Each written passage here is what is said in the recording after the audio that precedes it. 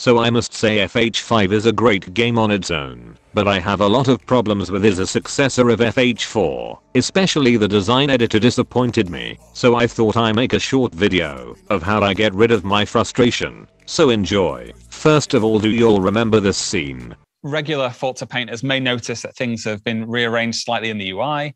Uh, this is the first time we've uh, really revisited the layout in, in a number of years, and we kind of wanted to bring it in line with um, kind of the the user experience that people might expect in a modern day uh, painting package such as uh, Adobe Photoshop. For comparison, this is Photoshop. And this is FH5.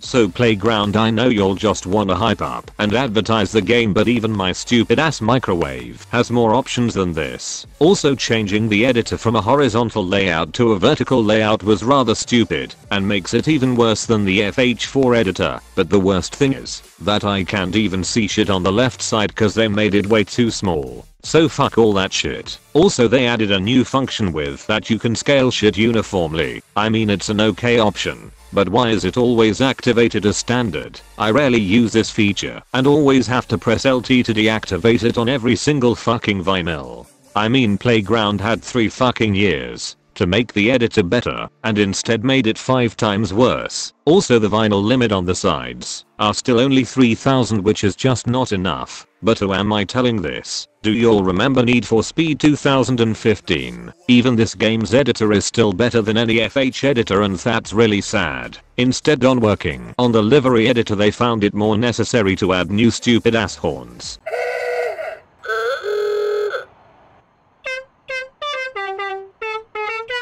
Thank you very much playground but nobody asked for a sound that a cow makes when you rape it from behind. Next up is the worst nightmare for every very active designer. It's the fact that you have to work hours like a slave labor just to drag all your stupid ass designs and vinyl groups over to FH5 which is just annoying. And even when you're finished with that, the designs get no downloads cause the algorithm is as bad as the FH4 algorithm. So to end this video I just wanna say that's my personal opinion and there are probably some sick people that like the new editor. I just hope he'll get used to it, but at the moment I don't have much motivation to use it. Subscribe and if you dislike you have a small dick.